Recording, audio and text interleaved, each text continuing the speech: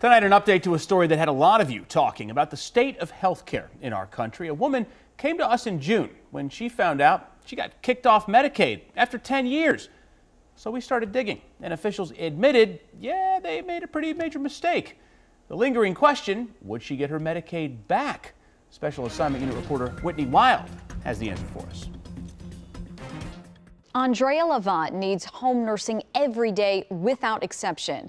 The price is high, and for years, Medicaid handled the bill. Now, what she desperately needs is gone. Uh-huh. Andrea Levant's morning routine starts with someone else. Good morning. Okay, push me back a little bit. I don't get out of bed without the services. What are you wearing today? She lives with muscular dystrophy and needs home nursing every day. According to an invoice she showed us, the cost can run about $2,250 every month. It's so expensive that when we met Andrea for the first time, her friend Josie Gilliland was filling in. She can't reach across the counter to get toothpaste or, you know, grab things off of a shelf. From 2007 through this June, Medicaid paid the bill. Those payments stopped over the summer. Okay, can you hear me now? Hey, I'm calling. I'm trying to reach a Martin Smith. A me- he's a medical care program specialist. Oh, you transferred me to Peter Smith. I'm looking for Martin Smith. But after WUSA 9's special assignment unit started making calls, we found out Maryland officials made a pretty big mistake. So the medical assistance was based on zero income. And I'm saying that that was a department error. This was a clip of Andrea's appeals hearing, and that voice you heard, he was representing the Prince George's County Department of Social Services. He said he didn't want to be photographed at the request of management. During that hearing, he said that someone there figured Andrea made no money when deciding whether or not to approve her for Medicaid.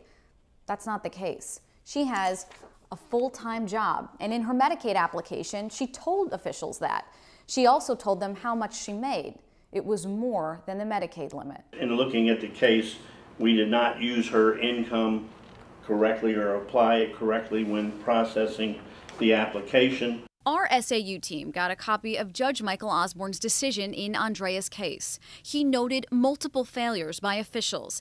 At one point, they pointed to this code to explain why they ended her Medicaid. That code doesn't exist.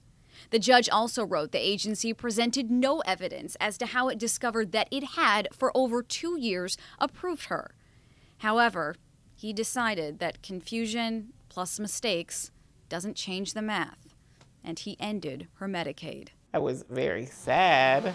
I think reaction is, you know, that I'm trying to get a handout or anything like that, and it's actually quite the contrary.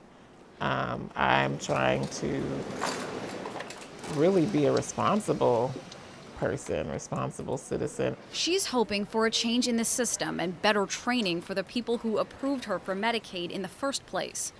For now, she's relying on donations in pulling from her retirement. Everything that I know is here. Um, and so I'm going to fight to to keep that because I've worked really hard for it.